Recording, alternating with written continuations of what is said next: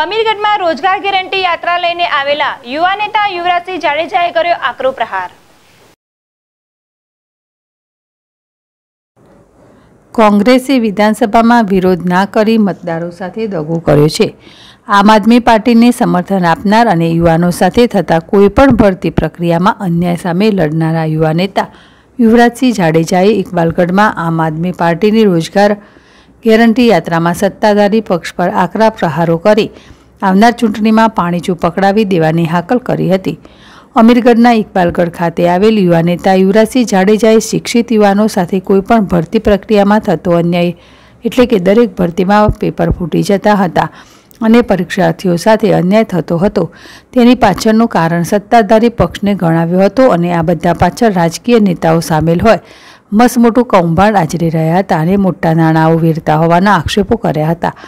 અને ભાજપ આપેલ વચનો પોકર જઈ રહ્યા હોય, ભાજપને ભારતીય જુઠ્ઠી પાર્ટીનું નવું સ્લોગન આપ્યું હતું. જ્યારે કોંગ્રેસે પણ મતદારો સાથે દગો કરેલ છે એવું જણાવતા તેઓએ કોંગ્રેસના ઇઠ્યોતેર વિધાયકો વિધાનસભામાં હાજર હોવા છતાં મોંઘવારી સામે અવાજ ન ઉઠાવતા તેઓને પણ મરત્યા ગણાવ્યા હતા. આમ આદમી પાર્ટી સાથે જોડાયેલ યુવા નેતાઓ એક મૂકો આમ આદમી પાર્ટીને આપવા યુવાનોને હાકલ કરી હતી અને બેરોજગાર યુવાનો સામે કોઈ પણ અન્યાય નહીં થાય અને સત્તામાં આવ્યા બાદ પેપર ફોડનારાઓ સામે સખત કાયદો બનાવી તેઓને સજા કરવા માટે આશ્વાસન આપ્યું હતું. સત્તાધારી પક્ષને જેમ કોઈપણ વાયદાઓ જુઠ્ઠા નહીં આપવામાં આવે, તેમ કહી એક મોકો કેજરીવાલને આપવાની હાકલ કરી હતી અને દિલ્હી અને પંજાબની જેમ વાયદાઓ પૂરા કરવાની એકાગ્રતા બતાવી હતી.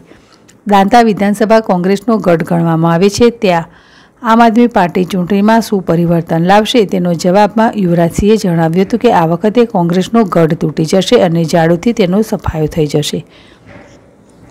એકથી દસ લાખની ઓફર આવી હતી. યુવરાજસિંહ જાડેજાએ જ્યારે યુવાનો સાથે થતા અન્યાય સામે અવાજ ઉઠાવતા સરકાર સામે મોરચો માંડ્યો તે સમયે તેઓના દબાવવા માટે કારસાઓ રચવામાં આવ્યા હતા અને તેઓને એક કરોડથી લઈ દસ કરોડ સુધીની ઓફર કરવામાં આવી હતી તેમ તેઓએ લોકોને જણાવ્યું હતું. અશોક છે જેડેશ ટીવી, અમીરગઢ.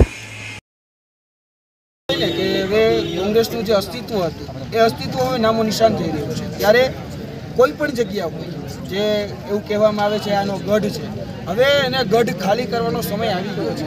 અને ગઢ ખાલી કરવાનો સમય એટલા માટે આવી ગયો છે કારણ કે જ્યારે એ પક્ષમાં હતા ત્યારે કાંઈ ન કર્યું. જ્યારે વિપક્ષમાં હતા, એ વિપક્ષમાં એની જે વિપક્ષની ભૂમિકા એની ભજવવાની હતી, જ્યારે કહી શકે કે મોંઘવારીનો જ્યારે આટલો માર પડતો હતો, જ્યારે યુવાનોના ભવિષ્ય સાથે ચેડા થતા હતા, ત્યારે એની વિપક્ષની જે ભૂમિકા ભજવવામાં જે રીતે નિષ્ફળ થયા છે, તો આજ વખતે તમામ યુવાનોએ, તમામ વડીલજનોએ એક મન બનાવી લીધું છે કે આજ વખતે એ કોઈ પણ હોય, મત એકને જ મળશે, જે કામ કરે છે, જેના કહી શકાય કે જેના મૂળ પ્રશ્નો છે, જે કામના પ્રશ્નો છે, એ કામના પ્રશ્નોમાં જે સુરથી સુર પુરાવે છે, એ પછી પોલીસના પ્રશ્નો હોય, એ પછી વંચિતોના પ્રશ્નો પછી ગરીબોના પ્રશ્નો એ પછી યુવાનોના પ્રશ્નો હોય, એમાં જેને સુરથી સુર પુરાવ્યો છે, હંમેશા આમ આદમી પાર્ટીએ, એમાં હંમેશા સુરથી સુર પુરાવ્યો છે. એટલે આજ વખતે કહી શકાય કે આમ આદમીના પાર્ટીના બીજ એ તમામ ગુજરાતના જિલ્લે જિલ્લે